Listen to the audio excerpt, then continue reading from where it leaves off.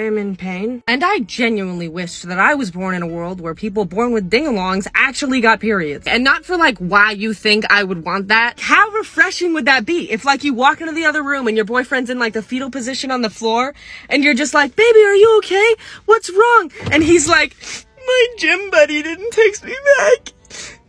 Baby, it's gonna be okay. Why don't you just go by yourself? My cramps are too bad. I don't wanna go anymore. I guarantee you, tampons would be free.